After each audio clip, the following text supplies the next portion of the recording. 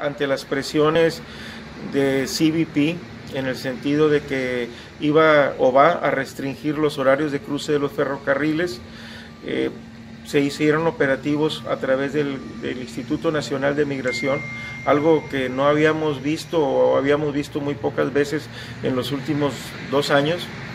Eh, operativos muy intensos en lo que son ferrocarril, en lo que son centrales de autobuses, en lo que son entradas a la ciudad, centro de la ciudad y orillas de la ciudad, dando resultados muy interesantes porque eh, simplemente el día de hoy recibimos un llamado de CBP donde no se habían ya asegurado migrantes en el tren tratando de cruzar en forma indebida a los Estados Unidos. Esto es una muestra de que existiendo voluntad y teniendo los recursos se pueden hacer las cosas bien. Y hoy el instituto este, está operando de esta manera.